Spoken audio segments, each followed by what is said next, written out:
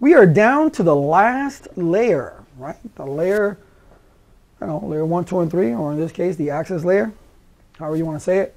The access layer is really just an extension of the distribution layer, period. Uh, all the this is what they consider the work group access layer.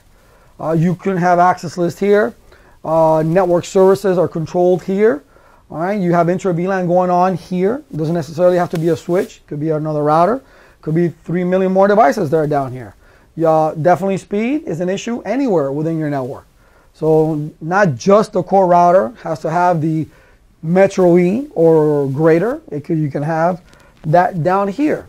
All right, but normally we associate it where these are all our computers going back and forth, your LAN segments, that 80% of all network traffic should be local to your particular segment. That way you don't bog down the network by having to leave your segment and taking up extra bandwidth. But again, this is a layered approach, a layered approach. It could be three layers, it could be four layers, five layers, 10 layers, it could be 20 million devices, it could be just these three devices. But what you need to think about, access layer, again, LAN segments, work group access, you still have policies going on there as well. What you need to remember is, as far as the test is concerned, yeah, core, distribution, access, CDA. Core is the most important, going from one side to the next. Distribution is where you do all your routing and decisions where you need to send this. Your access layer is just an extension of the distribution layer.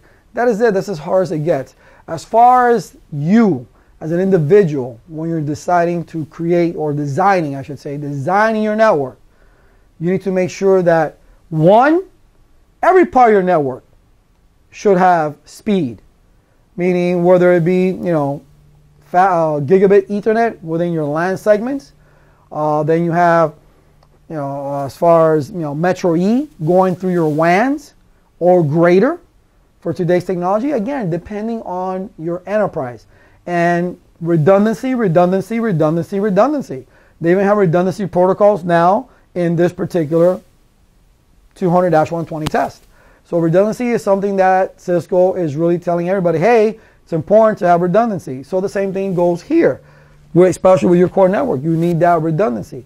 But you need redundancy everywhere. You need speed everywhere. And you need security everywhere as far as access list or you know, policy-based routings or whatever it is that you're doing, you need to set up security. But again, they give us a layered model, a conceptual blueprint of how things should be, of how it could be more efficient. But you need to decide that based on your enterprise, your particular network. If you just have one router and you know one switch, and then you know five computers, this may not, you know, this may apply, may not apply. That's your one router.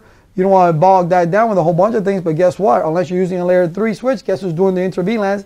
If you have VLANs in your company, that particular router. So you got to make sure that if you're using, let's say, Comcast cable, for example, or you're using some other manufacturer to get you from point A to point B, that you have high speed. So you see, things can change back and forth. Not everything is cookie cutter. You don't go to one network and the next network is identical. That does not exist. It does not exist. Every network is different. Every network uses different devices. And you can go on one network and they have Cisco devices, which is what they should be using. You can go to the next network and they can be using F5 routers. You can go to the next network, they can be using Juniper routers. You can go to the next network, they can be using Alcatel routers. They, and and the, it goes on and on and on and on. The concepts that they teach you with these models, and we still got one more model to go, which is the TCP/IP model. All right, is just that. It's a layered approach to let us know, hey, this is what's going on. This is how you should set it up. That's all.